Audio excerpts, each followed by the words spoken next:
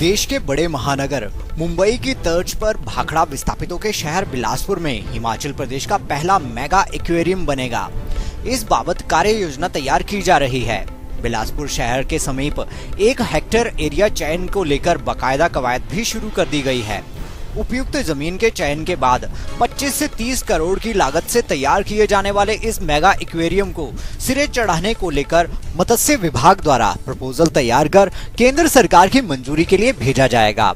अहम बात यह है कि इस एक्वेरियम के बन जाने से न केवल बिलासपुर में टूरिज़्म निखरेगा, बल्कि बेरोजगारों के लिए रोज़गार के द्वार भी खुलेंगे।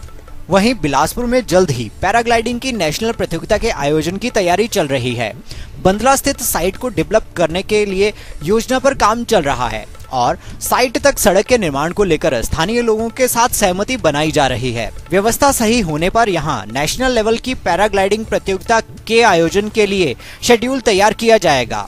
एंगलिंग का एक नया नया और कंसेप्ट आया है तो इसकी भी स्पोर्ट्स मीट इस बार ही करवाएँगे।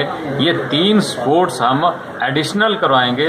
क्रिकेट तो यहाँ पर रणजी मैच भी होते हैं। इस तरह से टूरिज़्म को डेवलप करने के लिए बंदला की धार से पैराग्लाइडिंग की हम स्पोर्ट्स मीट करवाएँगे और गोविंद सागर झील में एंगलिंग की एक स्पोर्ट्स करवाएँगे।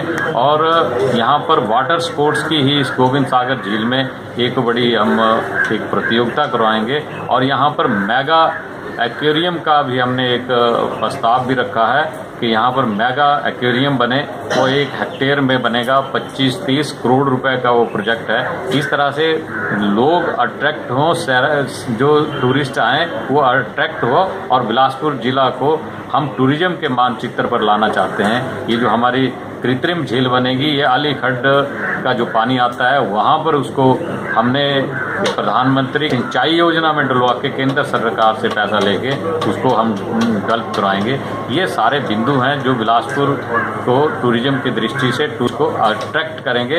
हमारे पुराने मंदिर हैं, उनको भी शिफ्ट करके हमने उसकी जगह चिन्हित की है। आठ करोड़ का बजट उसमें केंद्र से सैंक्शन हुआ है। जल्दी से उस पैसे को भी रिलीज़ करवा के इसको भी हम पूरा करना चाहते हैं। उसी तरह से डिस्ट्रिक्ट लाइब्रेरी है, वहाँ पर भी हमारे लोग और बाहर से आने वाले लोग भी वहाँ पर पढ़ें, बैठें, जानकारियाँ लें। इस दृष्टि से हमने बिलासपुर जिला को टूरिज़्म के मानचित्र पर आए।